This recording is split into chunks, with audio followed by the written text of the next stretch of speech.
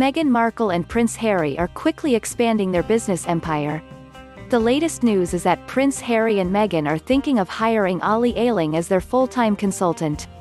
In case you might not have known, business expert, Ollie Ayling has worked with A-list of celebrities such as Nicole Scherzinger. He has been guiding Nicole's career by making her score big investments and endorsements. After working with Nicole for about seven years, Ollie helped her make about 10 million euros. Since the Duke and Duchess of Sussex are rapidly expanding their business empire, they would need a business guru to work magic. So far, the Sussexes have already signed a 112 million euros contract with Netflix. Harry will be working as the executive producer for the TV show documentary about Invictus Games.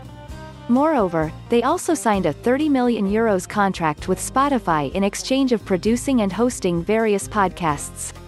When Meghan Markle released her first children's book, The Bench, on the 8th of June, she received a 500,000 euros advance. Did you know that since Meghan and Harry stepped down as royals, they have already made more than 230 million euros? During his interview with Oprah Winfrey, Harry claimed that he had been cut off financially by the firm. Critics had a lot to say about Harry's claim.